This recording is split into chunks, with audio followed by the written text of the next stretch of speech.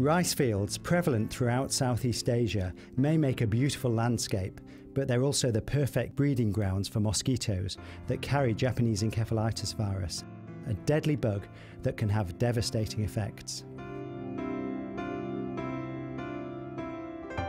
At the University of Liverpool, we've been working on improving the diagnosis, treatment, and prevention of Japanese encephalitis across Asia for more than 10 years. My work has been funded by an MRC Senior Clinical Research Fellowship, as well as other funding agencies. In most people, being bitten by an infected mosquito causes nothing more than a mild flu like illness, but for others, it can lead to serious brain damage or even death.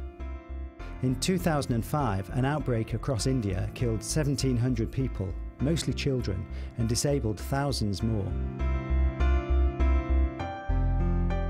With my team in the Institute of Infection and Global Health, I've been looking at how much brain damage is caused by the virus itself and how much is due to the body's attempt to fight the virus off.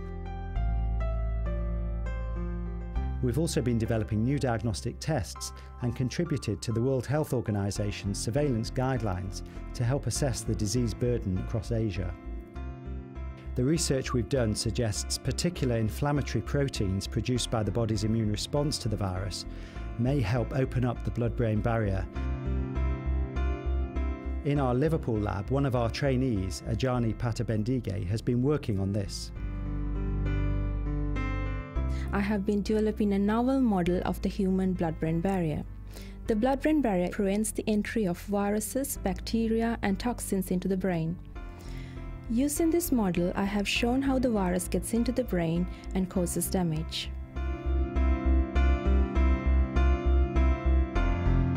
Members of our team are based out in southern India and Nepal, trying to find new treatments to stop the brain swelling caused by Japanese encephalitis.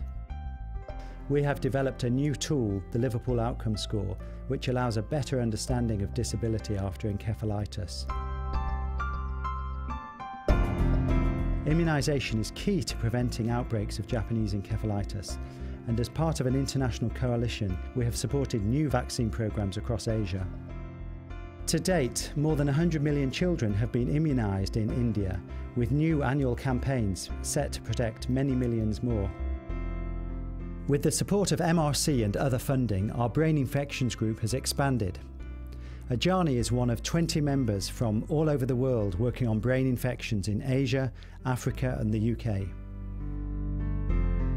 It's great to be part of a team of doctors, nurses, basic scientists, and social scientists, all working together to make this terrible disease, encephalitis, a thing of the past.